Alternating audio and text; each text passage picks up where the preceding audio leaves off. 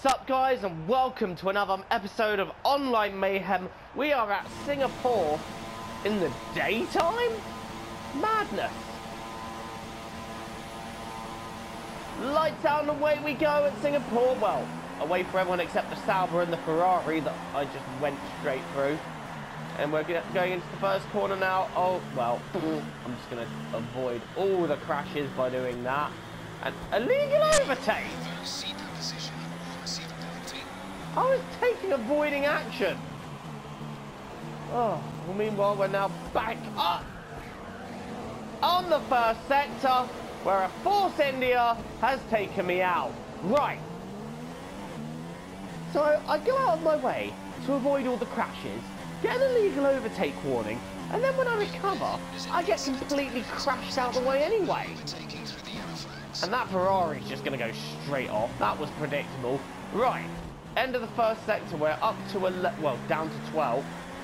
As we were starting a little higher than this. we're now battling a Williams and a Sauber that's just buried in the wall. How many more... okay, the Williams just let me go there. Um, thank you, I guess.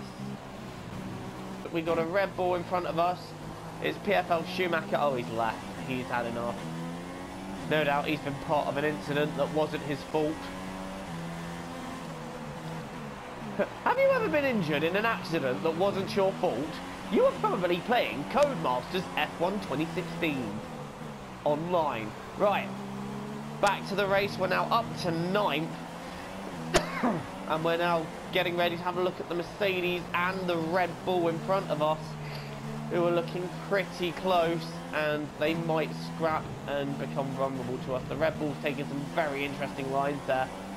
I was just trying to make sure we didn't go into him. There's a car going through the pits. We've gone round the outside of the Red Bull. Um, okay, that was some pretty impromptu braking by him there. And why are we on lean mix? Why did they do that? Anyway, lap two. We're now on the rear of the Mercedes for seventh, so we've moved up the order through not being involved in the rest of the first lap crashes. Now we're right with the Mercedes. We're going to have a look. Getting right in his slipstream. And, well, he's covering, he's covering, but I'm staying to the inside here. And, well, well, talk about a complete refusal to give me any space. But now we're on him. And there's another yellow flag. Someone's crashed the He's covering and going very defensive. So I'm just thinking maybe his over-defensive driving might help us out here and because he will go wrong doing it. Oh, move! Get a move on! Instead of braking at the imaginary 400 meter board. Oh, he's gone what wrong. Can we capitalise on his outside? And well he made sure that we couldn't by closing that gap. Well that was a very aggressive line to take down there. I'm going up the inside here. He's not going to give me any room. No he's not giving me any room. And now he's hit the wall. So now I'm more occupied with the Red Bull than I am the Mercedes. I'm going around the outside. No that's not going to work.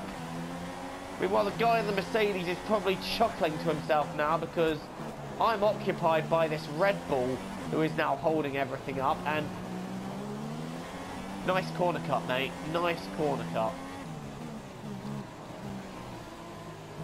Well, that just made it much simpler for me, didn't it?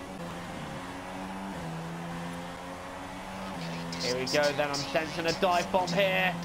Up the inside. And I actually got through quite cleanly. How anticlimactic is that?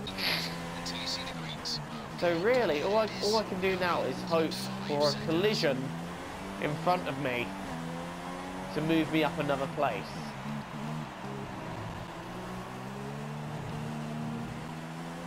Oh, speak of the devil, there has been someone that's gone wrong. It's the Haas. And that is fourth place. If one more goes wrong, that is a podium for me. Is oh, going to go a bit defensive there. And there's an incident in front of us. Is that third place? That is third. We've moved up into a podium position here in Singapore. The, the, but he's alongside me. What? The Renault is still alongside me. He's not willing to give this up. Down the inside. Oh, he's pushed me into the wall. He's pushed me into the wall, but we're not giving up on him just yet. The Force India now ramming me. The Renault's locked up. I've got an exceeding track limits warning. He's gone wrong here. It's going to have to be a risky dive bomb. And, oh, I don't think I can sum up with words the rage I feel there at that stupid mistake.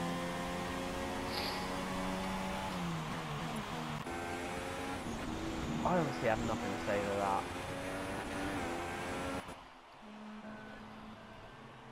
Sometimes you just go so wrong. And you know what? Those ahead of me had went wrong at the end as well. I've got nothing to say. I'm really quite ashamed of that.